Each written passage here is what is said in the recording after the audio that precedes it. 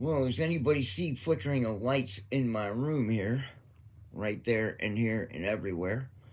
It isn't the pixelation on my camera. It's absolutely a spiritual dressing that's dropping down in into my room. So when I speak out into the field, you'll see something change.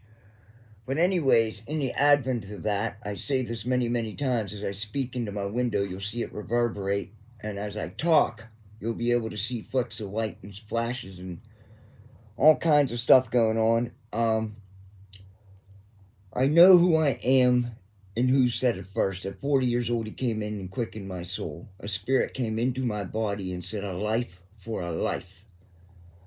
At one prayer I prayed into my heart at eight years old. For 33 years after that, until I turned 40, I wandered and wavered, went to the school system of the public Pittsburgh public school system, and it was the Wolves. Greek for school system that isn't run in the same understanding in accordance with anything of relationship building and understanding what it is to be created in the image and likeness of God and to be in the will to build and thrive on life. In life, on life, over it, omniscient, and the understanding of what Jesus was trying to teach us in the first place. He comes to Abraham's people. He says, Here I am.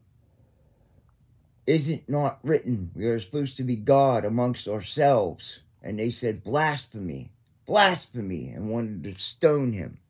The meaning of it, if I just change it just a little bit, if we were all godly amongst ourselves, to be God to one another, when I was a child, I was smashing ants on my front porch.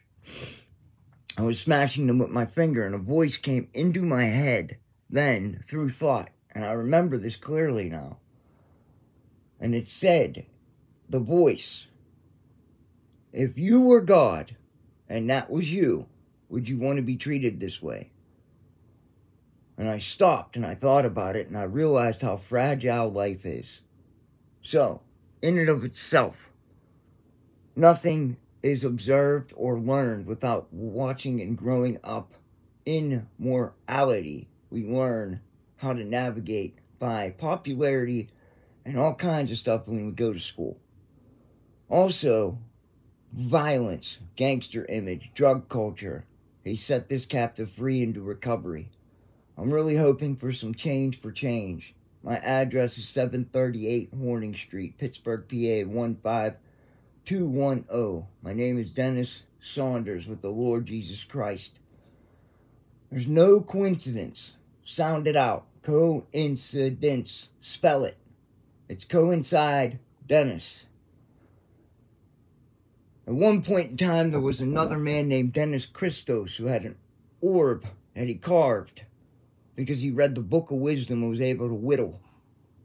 He was on a ship and he had a different of opinion over throughout the years on how many times a spiritual judgment came upon the earth or absolutely to come and help somebody or bring the truth, an exodus, an explanation owed to us. Just to say and prove that I really am quickened in spirit, the quickened one. Buddha was anointed, or Buddha was awakened. He said, Seek the truth. Jesus came, he was anointed, he was the truth. The Son of Man, also known as Thoth, was the truth in Egypt. Going way back, way, way back, there's all kinds of stuff that goes into the God of the mountain, God of the valley, and it's all repeated, repetitive throughout history and mankind.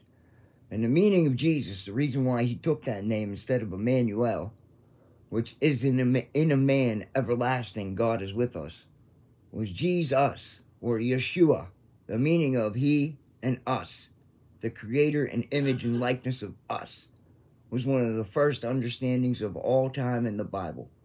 So, G, yea, he, and us. God bless everybody. I hope everybody can pick up the willpower to overcome addiction.